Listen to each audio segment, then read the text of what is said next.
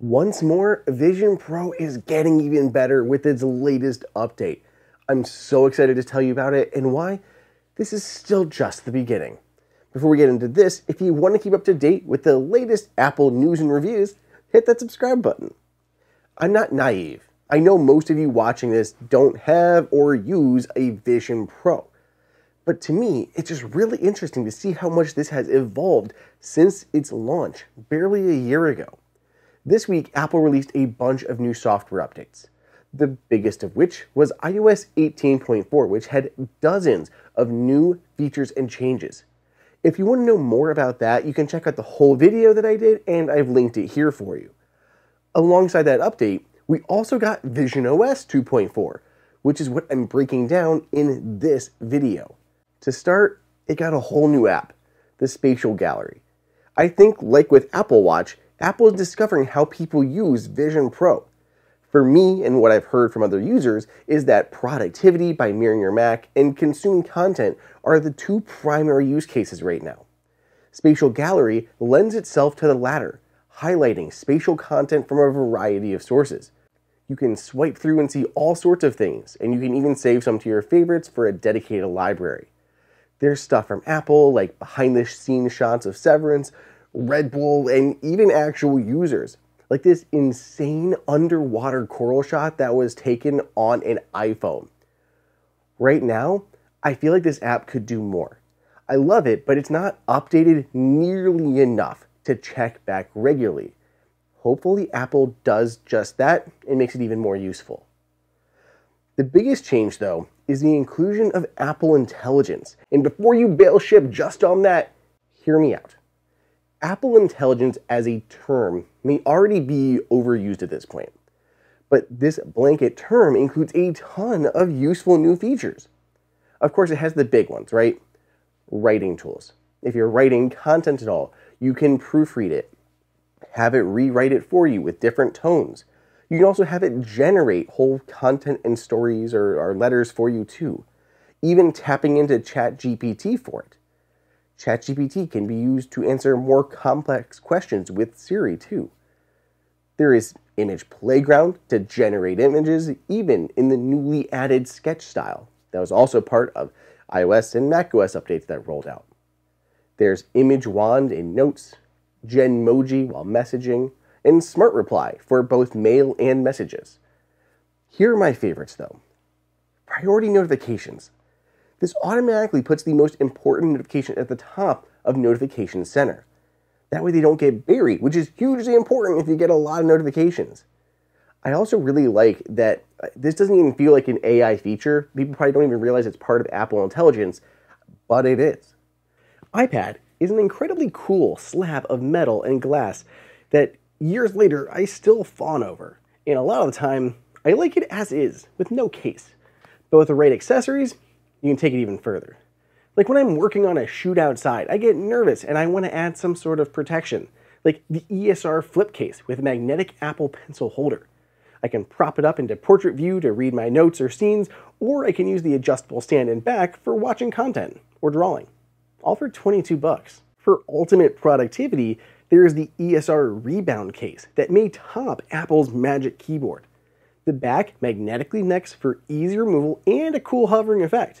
There's a large multi-touch trackpad with gesture support and backlit keys, something even Apple's doesn't have this time around. Finally, I may have found my favorite third-party stylus.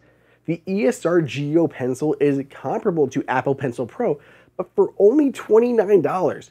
Has palm rejection, tilt sensitivity, and a fine 1.5mm tip, a battery display, and a cool shortcut button for automations. Best of all, it supports the Apple Find My app, so you'll never lose it. If you want to check any of these out, I put links in the description. I also love the integrations into Photos. You can now use natural language search to look for photos, which works really well, a lot better than before. Again, it doesn't necessarily feel like an Apple Intelligence feature, but it is. It's pretty cool to search for a photo and then convert it into spatial. Plus, it can create a movie for you. I've been using this a ton to look back with photos, so it's really nice to be able to use Apple Intelligence to make these movies that are, are more immersive and have chapters and stuff. Finally, there are notification summaries. These use the AI to give you a general idea of what the notification was. Long text, news stories, third party apps. These are great on iPhone mostly, and uh, it's perfect having them here on Vision Pro too. Especially when I don't have to get into something, I can get a good summary before having to actually do anything. Other small things include mail summaries, priority mail inbox, and more. I also always love how well Apple's products work together. We see that on display with Apple Vision Pro when it extends your Mac's display, or automatically enabling Optic ID when your iPhone is nearby. With this update, Apple's also putting a new Vision Pro app automatically on your iPhone. This gives you basic information on your Vision Pro, things like the serial number. It also lets you find more content, like new apps or videos to watch. The idea is you can get an alert on your iPhone that there's something new on Vision Pro, not only is that just helpful, but it can also help encourage users to put on their headsets even more. Plus, there's this new revamped guest mode process.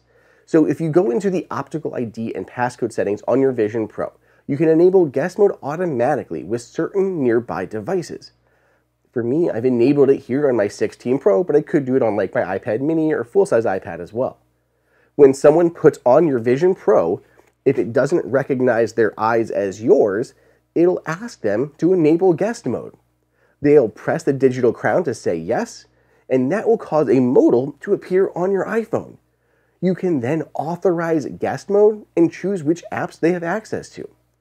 This is so much better than the original flow, where the owner would have to put on the headset first, log in, go to Control Center, enable it, you had to set everything there. So it had a timer on it, and then you take it off, put the other person back on. It was a lot. This will also just allow people to demo this so much more easily, which I still do after all this time. With visionOS 2.4, we got a slew of system-wide changes, emphasis on new spatial content, Apple Intelligence features, and more integration with your other Apple devices. Not to mention what came before this. Since launch, we got wide and ultra wide views for mirroring your Mac monitor. Lossless audio with AirPods Pro, with a special, like, almost Wi Fi like direct connection. We got the ability to convert your own photos into spatial photos that work super well. We got a ton of new spatial content, like the recent Metallica concert, the new Yankee experience coming out, and a short film that makes it feel like you're almost trapped in a submarine a new gesture and control center for home view and adjusting volume and settings. We got the Bora Bora Beach environment, which is still to this day absolutely one of my favorites. And so much more. And again, barely a year later, this still feels like a brand new device. This summer, we will be getting our first look at Vision OS 3. Bloomberg has called Vision OS 3 a feature packed release, and I am so freaking excited for it we've heard rumblings of more UI refinement, additional native apps, and possibly even support for VR gaming controllers. There will be no second gen Vision Pro this year, which to me is only a good thing. It means Apple is happy with the capabilities of the Vision Pro hardware to keep supporting new features like we've been getting so far. I feel like my investment into Vision Pro is more worth it when there wasn't a new model coming a year later. Again, I know Vision Pro isn't a mass market success, and rumors on subsequent models have been all over the place. As of now, it sounds like a new Vision Pro is coming 2026, maybe 2027, and we've seen how much Apple has continued to innovate and iterate with the Vision OS software. Everyone can have their opinions on Vision Pro, but I love it. I really do, and I think this update was another great milestone for the product, and I'm beyond excited to see what comes next. If you guys want to come along for the ride and see what Apple has coming up next, make sure you subscribe. Otherwise, I'll see you all in the next video.